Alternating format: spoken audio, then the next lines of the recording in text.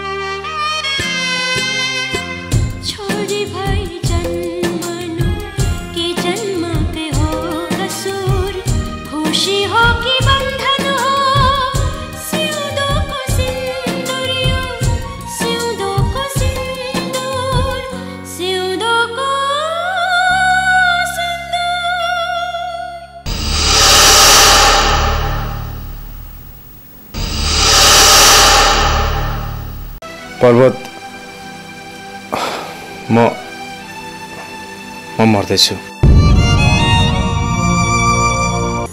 आफूले माया गरेको मान्छे रोएको हेर्नुपर्छ। उसको पीडा हेर्नुपर्छ।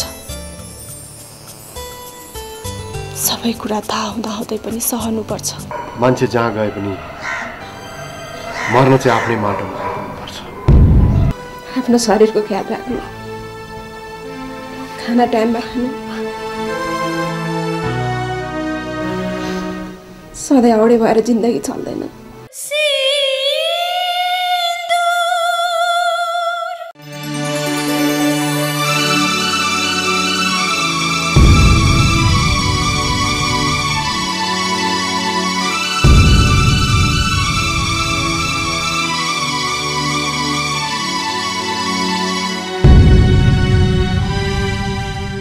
मान्छे जहाँ मर्न चाहिँ आफ्नै चाहिँ आफ्नै माटोमा मान्छे जहाँ गए मर्न चाहिँ चाहिँ आफ्नै माटोमा दाइ गाडी रोक्नुहोस्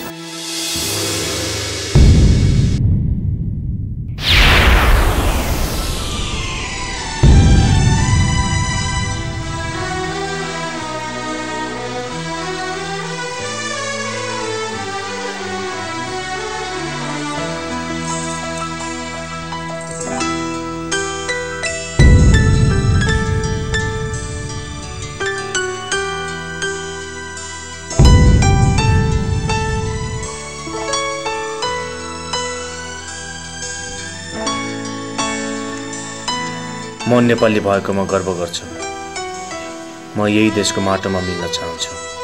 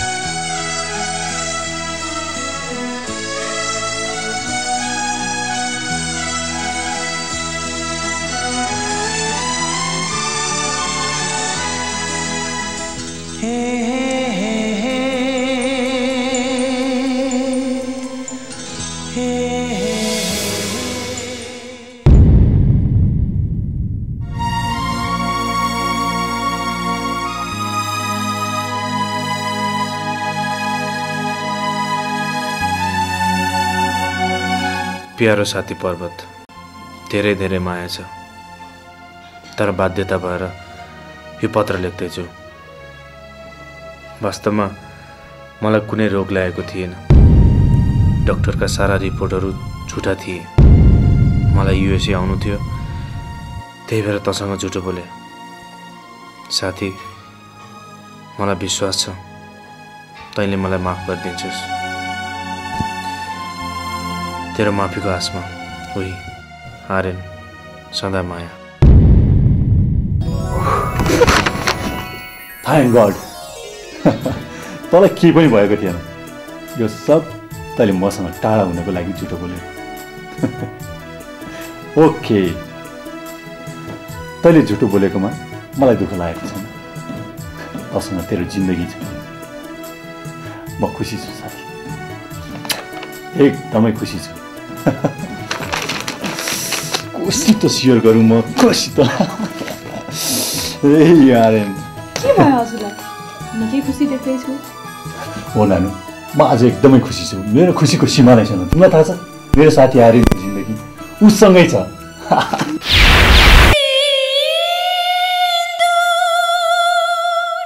के भयो हजुरलाई निकै खुसी देख्दैछु हो नानु म आज एकदमै खुसी छु। मेरो खुसीको सिमा नै। छैन तिमीलाई थाहा छ?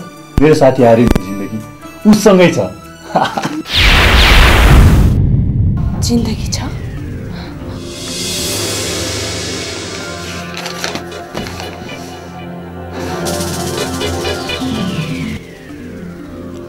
भनेपछि आर्यनले हजुरलाई इमोसनल ब्ल्याकमेल गरे। हजुर कति सोझो हुनुहुन्छ है? मैले पनि त्यसलाई इमोसनल ब्ल्याकमेल गरेको थिएँ। त्यसलाई मैले नेपाल बोलाएँ मोहिनीको लागि। त्यसले पनि सेम मलाई त्यस्तै गर्यो। ओके हिसाब किताब बराबर। ए आर्यन तसँग तेरो जिन्दगी छ यहाँ म एकदमै खुसी छु आज। साँच्चैको म एकदमै खुसी छु। एकदमै खुसी छु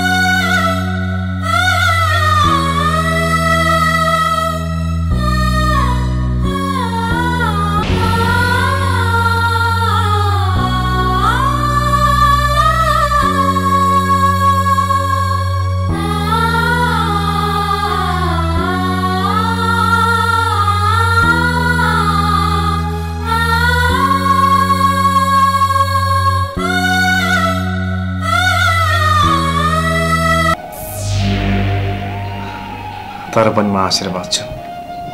म मसँग एक एक पलमा मेरो जिन्दगी छ।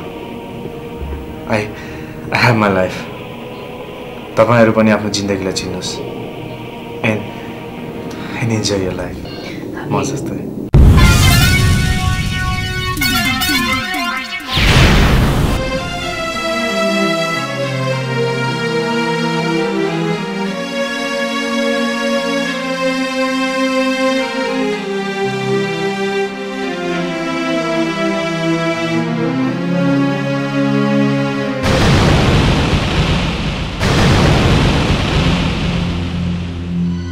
के त्यो मान्छे साँच्चीकै पागल हो? कतै हामीले पुलिस केस गर्छौँ भनेर त्यो मान्छेले आफूलाई मेरो अगाडि पागल प्रमाणित गर्न खोजेको त होइन। कतै यो सबको पछाडि सन्ध्या त छैन।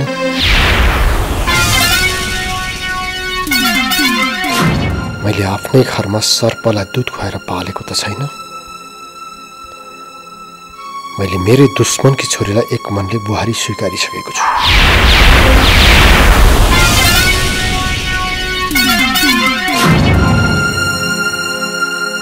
कतै ऊ मसँग बदला लिने मुडमा त छैन। तपाईँले ठिक भन्नुभयो।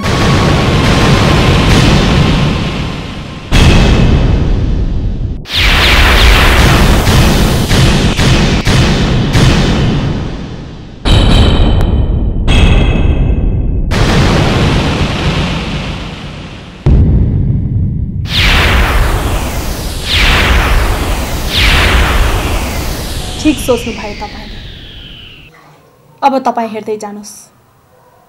म तपाईँ र तपाईँको परिवारलाई कसरी खत्तम पार्नेछु। एउटी छोरीले आफ्नो बाउलाई आफ्नै बिहेको मण्डपमा सारा समाजको अगाडि बेइज्जत भएको देखेकी छे। एउटी छोरीले आफ्नो आमालाई विधवा भएको देखेकी छे। याद छ तपाईँलाई? मेरो बाबाले तपाईँको अगाडि किडकिडाएर आफ्नो इज्जतको फिक माग्नु भएको थियो। तर तपाईँ कति निर्दयी हुनुहुन्थ्यो। मेरो बाबालाई खुट्टाको जुत्ता बन्न पनि लायक छैन भनेर गलात्याइदिनु भयो। यो सबै चाल अरू कसैको थियो। तर त्यसमा मेरो बाबा फस्नु भयो अनि मेरो बाबाले हामी सबैलाई छाडेर भगवानको प्यारो हुनुभयो। तपाईँलाई थाहा छ मेरो बाबाको चितालाई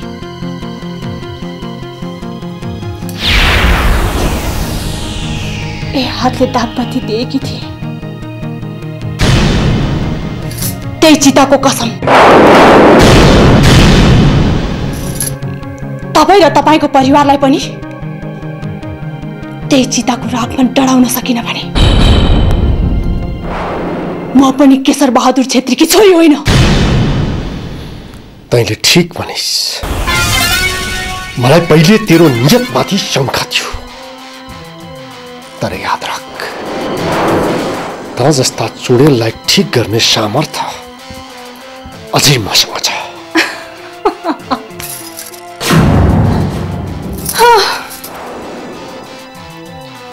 कुन सिसाको कुरा गर्दै हुनुहुन्छ तपाईँ तपाईँको परिवार रूपी सिसा त मैले फुटाइसकेको छु छोरो त हो तपाईँको पर्वत तर ऊ म भनेपछि आफ्नो ज्यान फाल्न पनि तयार छ। श्रीमती त तपाईँकी हो? तर मलाई छोरीलाई भन्दा पनि बढी माया गर्नुहुन्छ। तपाईँको यो घर परिवारमा मैले माया र स्नेहको पट्टी बाँधिसकेकी छु।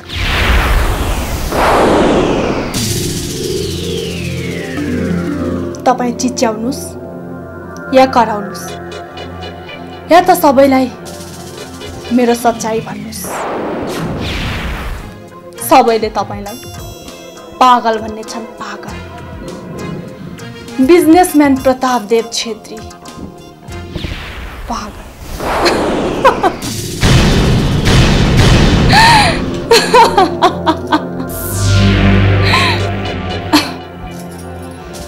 प्रताप देव छेत्री।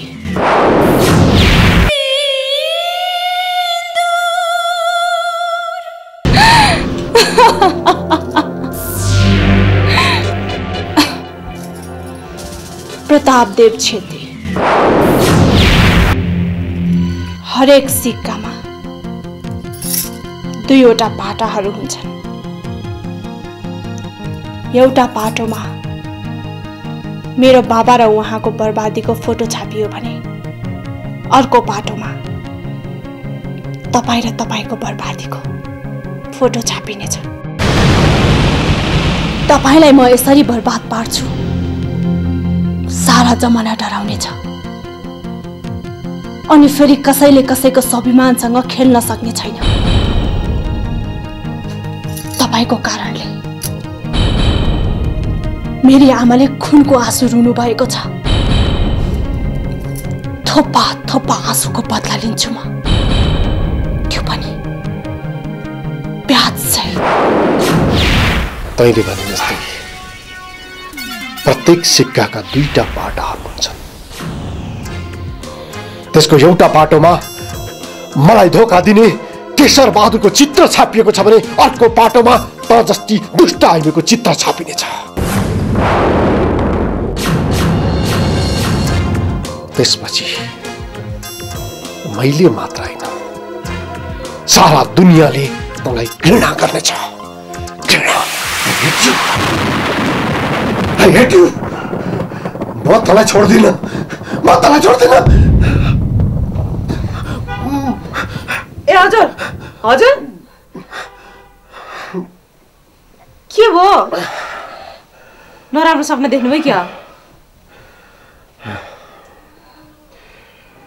नराम्रो सपना देखेछु।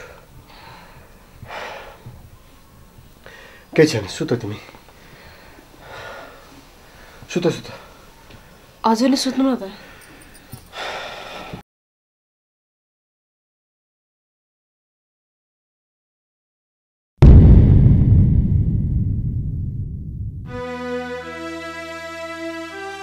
के हुनसक्छ यो सपनाको इसारा आइमीको कुनै भरोसा हुँदैन भन्छन् कहीँ यसले मेरो परिवारलाई अस्तित्वविहीन बनाउन खोजेकी त होइन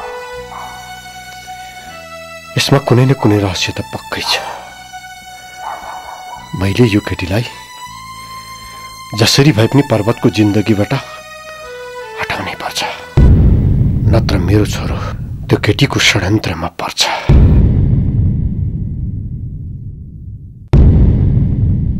सबैभन्दा पहिले मलाई अपहरण गर्ने त्यो पागलको त्यो कहाँ बस्छ? र त्यसको र सन्ध्याको सम्बन्ध के हो? त्यो पत्ता लगाउनु जरुरी छ मैले।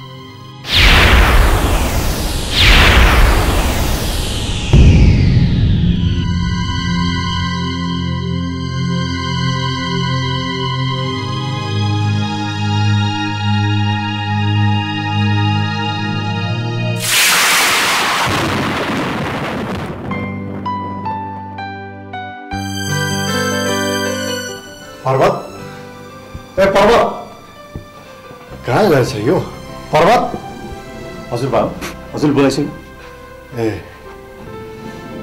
तपाईँसँग एउटा कुरा सोध्नु थियो के कुरा भयो मलाई जुन अपहरणकारीकोबाट तैँले छुटाएर ल्याइस् त्यसको एड्रेस दे त मलाई त्यसको एड्रेस लिएर हजुर के गर्छिन्छ किन सन्ध्याले बाबालाई एड्रेस नदिनु भनेको छ हेर पर्वत त तेरी सन्ध्यालाई जति माया गर्छस् नि त्योभन्दा ज्यादा माया म मेरी प्रज्ञालाई गर्छु मलाई जुन मान्छेले अपहरण गर्न लाग्यो नि त्यसले मलाई पटक पटक त तेरी श्रीमती रोएको हेर्न सक्छस् भनेर सोधेको थियो त एउटा कुरा याद गर कुनै समय सन्ध्या तँलाई छोडेर गएकी थिए। त्यो कुरा तैँले प्रज्ञासँग लुकाएको छस्। यदि त्यही कुरा झुकिएर प्रज्ञाको अगाडि मैले खोलेँ भने नि। छोरा पनि बन्छिन्छ। ब्ल्याकमेल पनि गर्छिन्छ बाबा। म पनि धेरैचोटि ब्ल्याकमेल भएको छु। मलाई त्यो एड्रेस चाहिन्छ। सरी बाबा। म हजुरलाई सत्य तथ्य बताएर दुखी बनाउन सक्दिनँ न त म हजुरलाई उसको एड्रेस दिन सक्छु। ठिक छ। म जसरी भए पनि त्यसको एड्रेस पत्ता लगाएर छाड्छु।